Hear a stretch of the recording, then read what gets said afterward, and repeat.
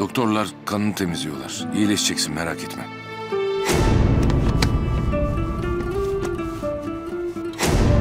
Ebru. Nerede Ebru baba? Beni bırakın onu temizleyin. Bırakın beni. Ee, e, Ebru iyi iyi. Başka hastanede. Burada yer yoktu oğlum. Sakin ol. Yani yok bir şey. Bir şey yapmadılar değil mi ona baba? Hiçbir şey hatırlamıyorum ben. İyi mi Ebru? İyi iyi iyi, iyi oğlum ya merak etme. Tamam. Bu kadar yeter. Yorma kendini.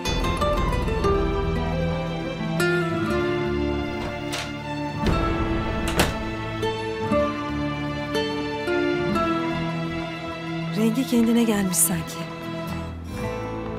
Doktor da iyiye gidiyor dedi. Eksik olma Ayla abla. Seni de yorduk buralara kadar. Olur mu öyle şey? Tunç benim de evladım. Yani ettiğin lafa bak şimdi.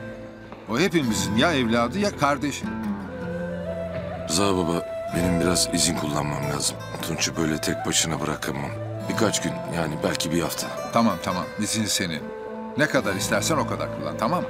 Biraz da dinlen artık usta. Berbat görünüyorsun. İyiyim ben ya iyiyim. Ha bu arada Tunç'un senden ricası var. Seninkiler bu olan biteni bilsin istemiyor. Niye? Gelseydi Metin'le Tekin'de moral olurdu. Ya işte gurur yapıyor yani. Bir şey de denmiyor. Abi, Ebru'nun öldüğünü biliyor mu? Bilmiyor söyleyemedim daha. Nasıl söylenir ki hele bu haldeyken?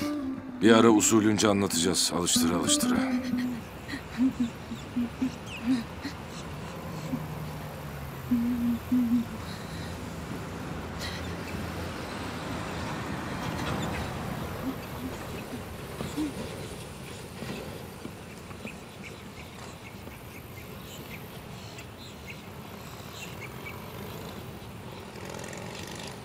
Başın sağ olsun.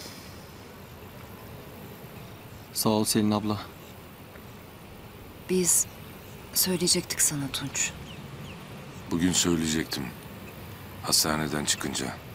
Zehir gibi adamsın. Senden bir şey saklanmıyor ki. Ben de eşeklik. Konuşmayacak mısın benimle? Fark eder mi baba? Ha dün söylemişsin, ha bugün. Bak Ebru'ya, dün vardı. Sevgilimdi. Kollarımdaydı. Bugün yok. Senin yüzünden.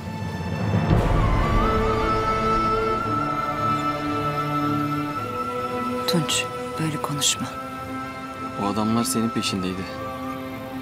Sana ulaşmak için bizi kaçırdılar. Senin yüzünden gördük o işkenceyi. Senin oğlun olmasam Ebru hayattaydı şimdi. Keşke oğlun olmasaydın baba.